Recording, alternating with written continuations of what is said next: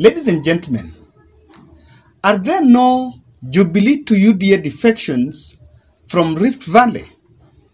Because, to my understanding, in 2017, Jubilee 70, almost 80% of elected leaders from Rift Valley won through the Jubilee Party. But they are also members of parliament, MCAs, and the women rep. And at William Ruto's Facebook page, we have been seeing a lot of defections from central Kenya.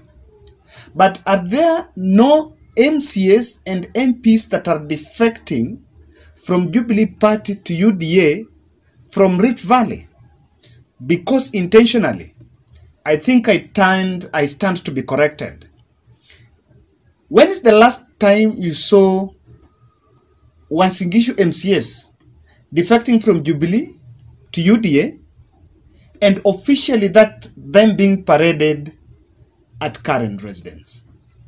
But if 5, 10, 2, 20 MCS defect from a county in central Kenya, they will all be paraded there. Even the Kisi. Even Mombasa. And I think even Mombasa are not being paraded. Even Western are not being paraded. But every defection from central Kenya is paraded.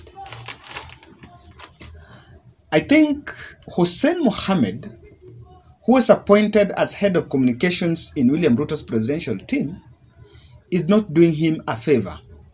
But wait, let us not blame him. Maybe it is the deputy president himself.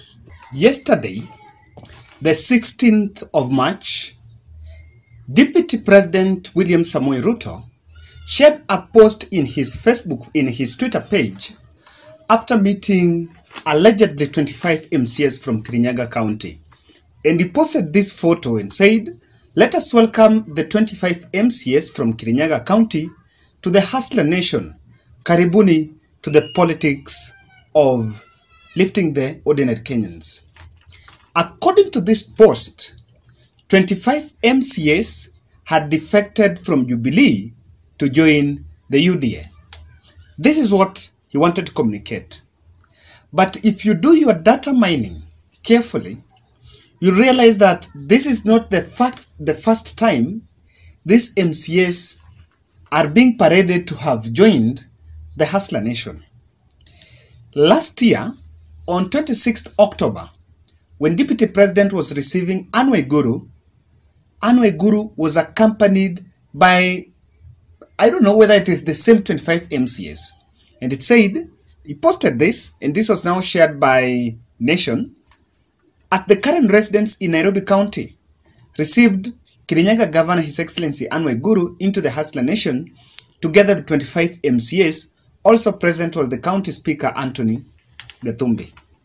So what happened is NTV later came to find out that out of the 25 MCAs that were paraded by Deputy President, only four. Only four are MCAs. only four. The others were just aspirants. And that begs the question what is this much obsession with defection that makes him go to the extent of faking a defection? you know, sometimes politics is very interesting. Now, this begs the question could it be that even the 25 that accompanied Anne Waiguru in October were also, some of them were also aspirants? And the truth of the matter is, this is what is happening. They lied about these figures. And they were saying, because, okay, how many times are they going to defect? Let's, let's go and give you the figures at uh, Kirinyaga County Assembly. Kirinyaga County has 20 elected MCS and 12 nominated. So in total, those are 32. Then with the speaker, who is an ex-officio member. Now, if 25 MCS defected last year in October, who are these other 25 that are defecting? There is a possibility of a double counting because the number there is no 225 they, they are not 50, they are 30, almost between 30 35. Defections genuine.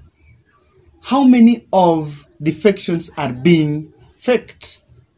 Because you can go five with the aspirants, and of course, aspirants are part of this uh, delegation. Then, when you go five with some very 10 aspirants, then you say 20 have defected. It's now paraded in Twitter and Facebook. So, what exactly is the madness with the issue of just faking defections? But that takes me to my question that I asked, guys. Eh?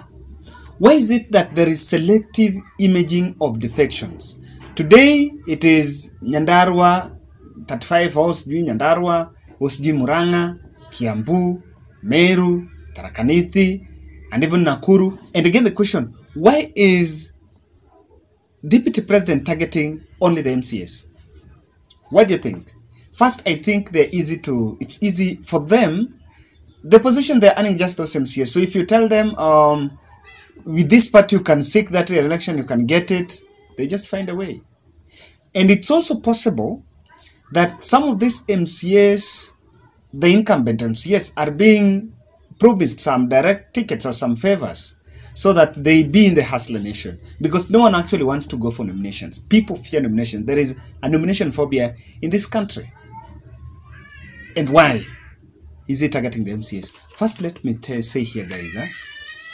William Ruto is not a short-sighted politician. I have said that in this channel. He's not eyeing 2022. 2022, according to him, is gone but he wants a very strong, he wants strength in the two legislative assemblies, both in the National Assembly and the County Assembly.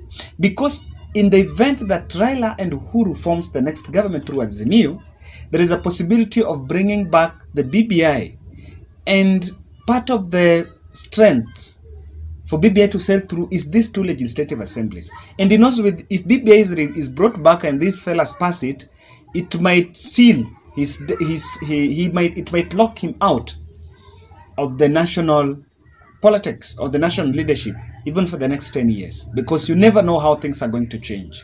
So that is why he's targeting that area. But then, in this video, I want us to look at why defections from central Kenya are magnified more than defections from the other parts of the country. That's what I want us to look at, huh? and there are four reasons.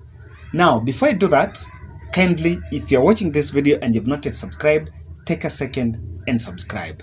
And also click the notification bell. Also tell us from if you are from Kirinyaga what exactly is happening? Did you did you see your MCA you if you see that photos how many MCAs are you seeing there? You can also help us do the fact check.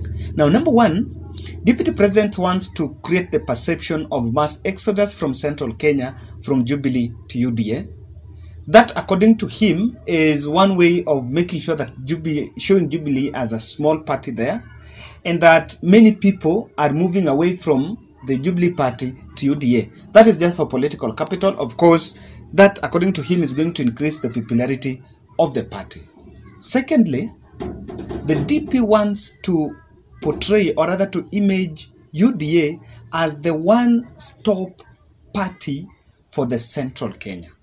Now, this is strategic to kill the aspirations of the other small parties in Central Kenya, not necessarily Jubilee, to kill the aspirations of Chama Cha Kazi, Safina, TSP, so that these small parties will still worship UDA and will feel like UDA is the party to follow.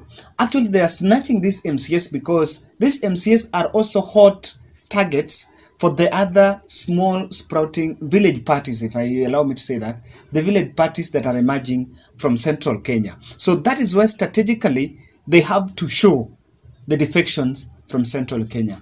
Number three, UDA are making these defections very public and they want to show Kenyans this because they want to provoke reaction from the Jubilee Party. Because what they will expect is the next day, Jubilee says the MCS that were with William Ruto, you know, we are going to maybe punish you or maybe something. They want to see how Jubilee is going to react. Now, when Jubilee reacts, for example, when Jubilee meets this MCS, when Jubilee threatens this MCS that, you know what, you're going to lose your positions, especially the elected, the nominated ones, then they will now play the victim card. Say, you know what, we were elected Jubilee, And now Jubilee is sending us away, you know, they will always find a way to play the victim card. That is why Jubilee Party have also known, and they are whenever they see these these defections, they don't react. They just look at them because again, they're just in for the camera, but nothing is written down. Lastly, deputy presidents have insisted and have sustained a plot to show that President Uhuru Kenyatta is facing rejection from his backyard.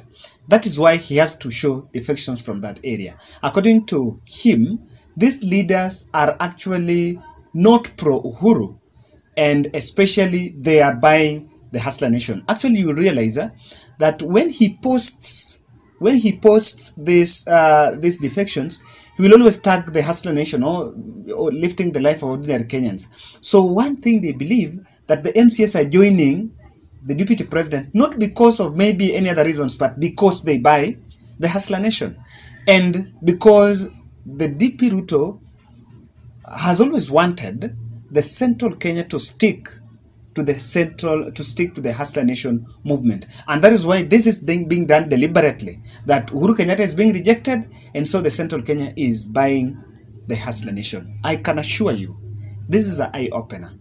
When I see MCS from Central Kenya defecting, I'll always raise my eyebrows, eyebrows and do my do my fact check because there are many defections that have been faked.